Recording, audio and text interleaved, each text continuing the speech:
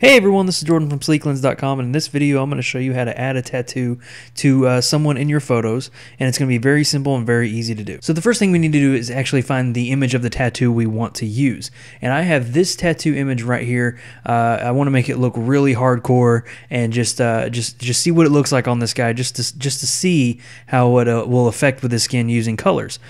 And so I have this image right here, and all I'm going to do to start off with is take this image and just drag it onto my model here. So I'm going to drag it over to the tab, drag right there, and it's a little large, so I'm going to click the Command or Control T button, and I'm going to scale it down. So here we go. I'm just going to kind of place it on the upper arm here. So I'm going to turn it just to try to conform to his arm. Uh, let's do right around here. Maybe rotate it a little more. So roughly right there. All right, so now we need to work on blending the tattoo in with his skin.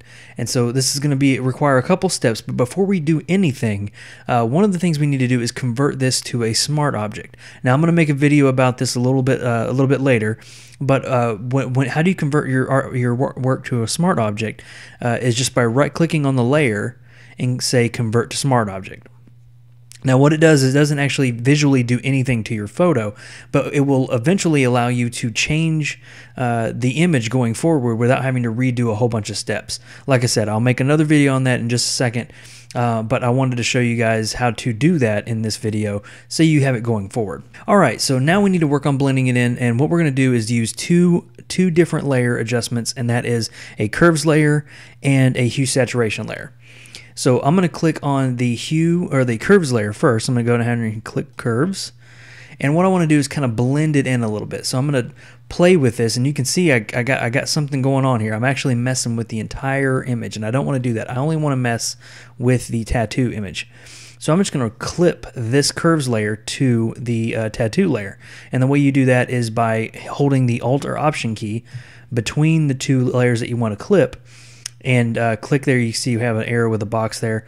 You're just going to click there, and now all the adjustments made are only going to affect the tattoo image. So I'm just going to play with trying to blending it in, blend it in there a little bit. Uh, I'm just going to mess around with this, and it's not really working too well. So now we need to use a blending mode on the tattoo layer.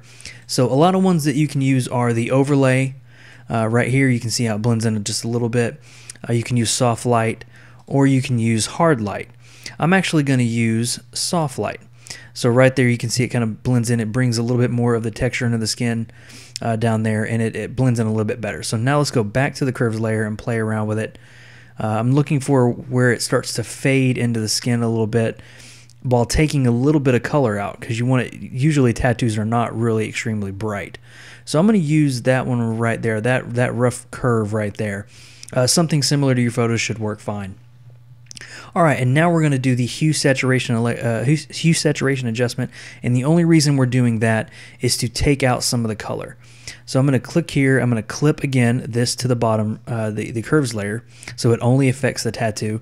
And now I'm just going to take the saturation down a little bit, play with the lightness, see if I can uh, blend it in a little bit more. So probably right around there.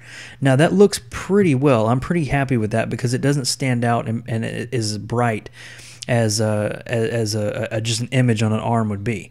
So one more thing to kind of give this a little more realism is to blur the image. A lot of people miss that step.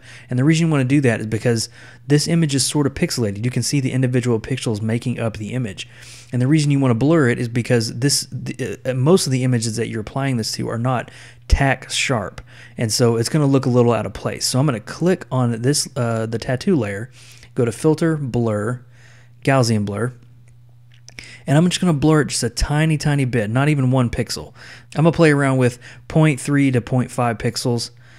Uh, let's go down to 0.3 right there. So it didn't make a huge change, but I'm going to toggle it off, toggle it back on. You can see, you can see the uh, difference it made.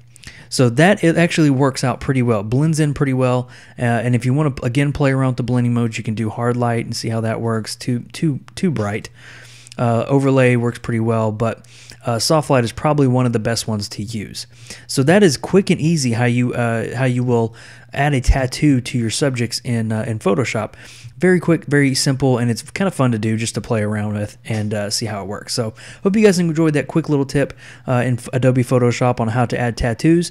Look for the next video coming up where I'm going to talk about the importance of using smart objects in, in projects like this. It's going to be uh, kind of an in-depth look at what smart objects are. So uh, thank you for joining me in this video. This is Jordan from sleeklens.com, and I'll see you in the next video.